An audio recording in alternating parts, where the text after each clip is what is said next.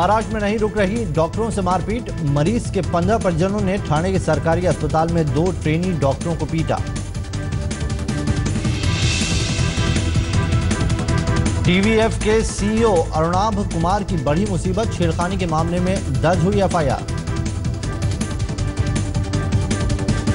चंद्रपुर में air condition बस में बैठकर किसानों के लिए संघर्ष यात्रा पर निकले कांग्रेस और एनसीपी नेता कर्ज माफ़ी की कर रहे हैं मांग।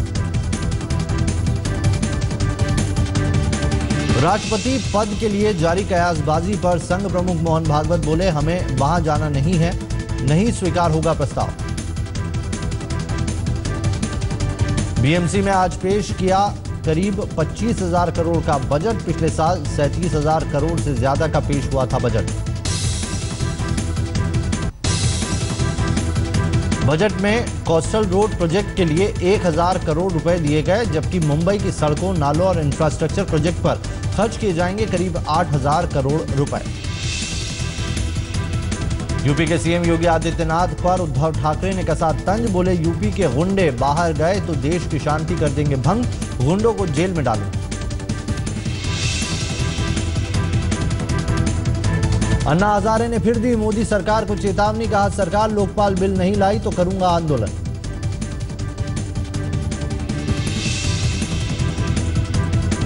बिजली चोरों की शिकायत करने वालों को बेच देगी पचास हज़ार का इनाम। पहचान रखी जाएगी गुप्त।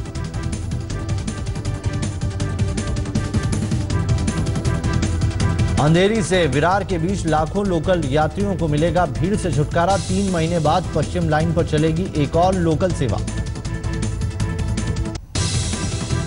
महाराष्ट्र के अकोला में एमआईडीसी के कबाड़ गोडाउन में लगी आग। शॉर्ट सर्किट से हादसे की आशंका। तीन घंटे बाद पाया गया काबू। महाराष्ट्र के काफ़ी इलाकों में 40 के पार पहुँचा पारा। रायगढ़ के भीरा में 46.5 डिग्री सेल्सियस तापमान किया गया दर्ज।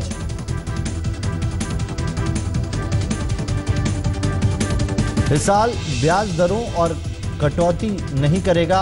आरबीआई गोल्डमैन सेक्स की रिपोर्ट में हुआ दावा।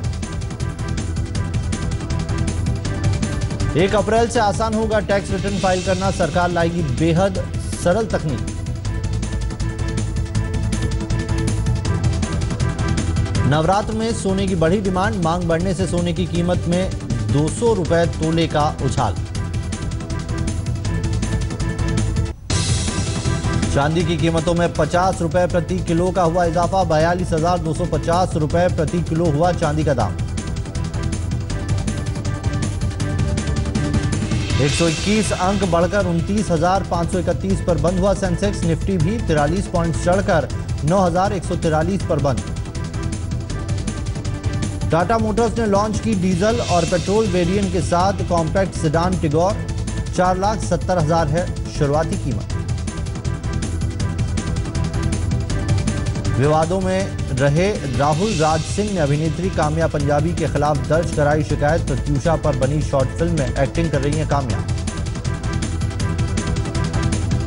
राहुल ने फ़िल्म की रिलीज़ पर रोक लगाने की मांग की, छवि खराब होने का सताया डर, एक अप्रैल को प्रत्यूषा पर रिलीज़ होने वाली है शॉर्ट फ़िल्म।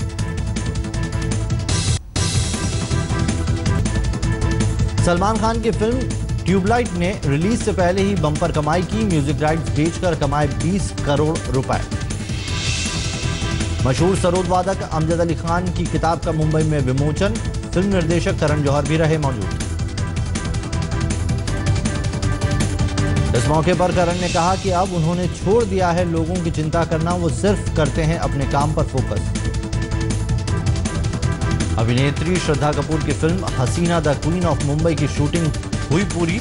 फ़िल्म में भगोड़े डॉन, दाऊद इब्राहिम की बहन हसीना पार्कर का किरदार निभा रही हैं श्रद्धा।